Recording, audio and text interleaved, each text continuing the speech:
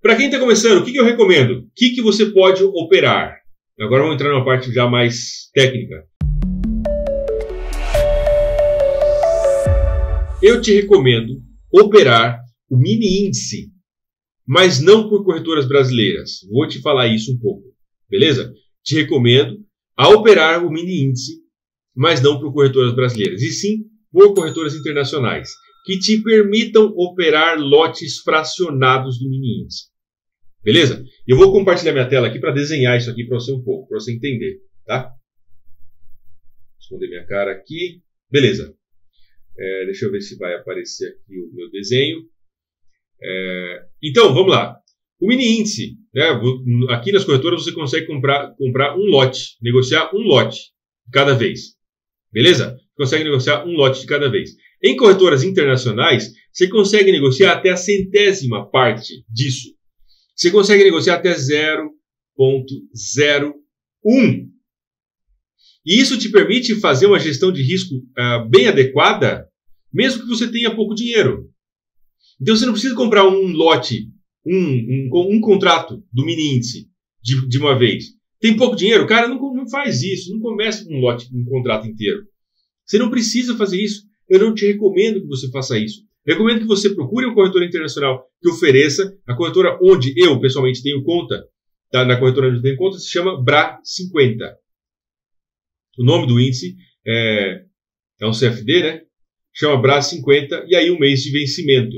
Tá? Você pode operar o BRA50, o índice Bovespa, a partir de lote de 0.01.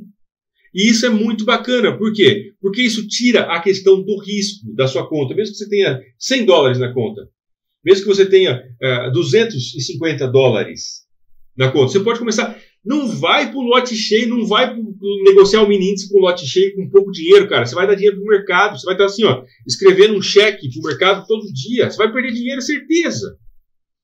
E não é certeza, tá? Porque certeza seria 100%. Mas eu falo assim, é 98% de certeza que você vai estar dando dinheiro para o mercado todo santo dia.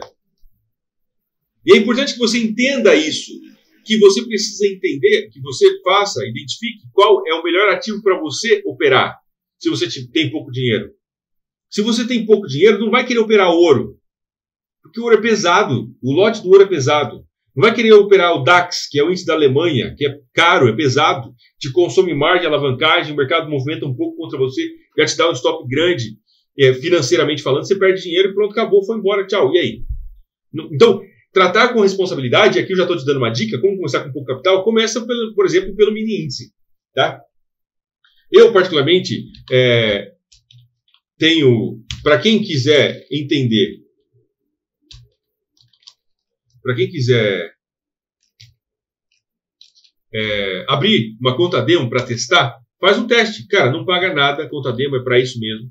Tá? Esse é o link para você abrir uma conta demo lá na corretora onde eu tenho conta. Não tem que pagar nada, é só entrar e abre. E aí lá você vai conseguir operar o mini índice de forma 100% é, gratuita e você vai conseguir ver que... Me... E aí, né, recomendo aqui para você, você começar com lote de 0.01, é, 0.01, ok? E aí entra, a gente já vai entrar agora em outro tema que é delicado para o trader iniciante, é, é delicado para o trader iniciante, por quê? Aí entra uma coisa que eu entendo, tá?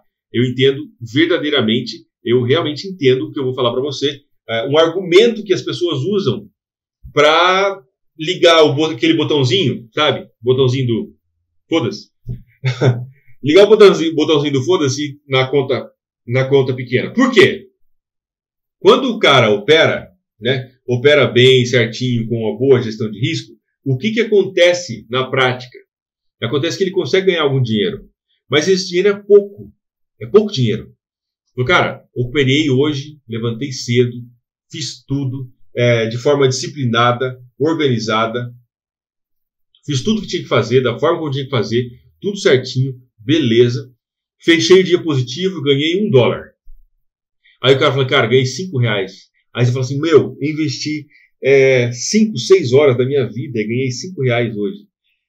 Caraca, tio, parece que não está compensando. E aí o cara faz isso durante uns 10 dias, 15 dias, e aí o que acontece? Ele fala, cara, é, eu vou ter que aumentar o lote aqui, porque senão não vai valer a pena eu ficar parado operando, por exemplo.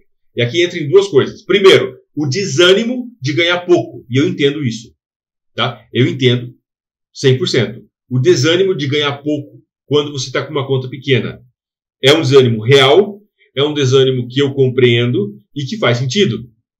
Ok? E aqui, a partir disso, eu quero dizer uma coisa para você. Você precisa instigar, colocar na sua cabeça que, apesar de você estar tá ganhando pouco, seja você fazer day trade, swing trade, etc., é, seja qualquer que for o seu formato, tá? É, apesar de você estar ganhando pouco, é importante você entender que, mesmo que você, você seja day trade, a visão precisa ser de longo prazo.